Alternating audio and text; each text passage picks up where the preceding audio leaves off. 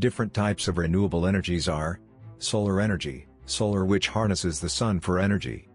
Wind energy, wind which utilizes the motion of wind to create electricity. Geothermal energy, geothermal which uses the internal heat from the earth for energy.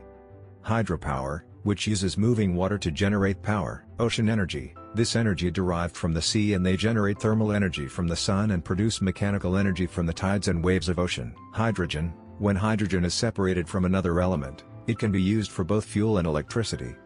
Biomass, which refers to a large group of technologies that use living or recently living organisms and waste to create energy. Thanks for watching.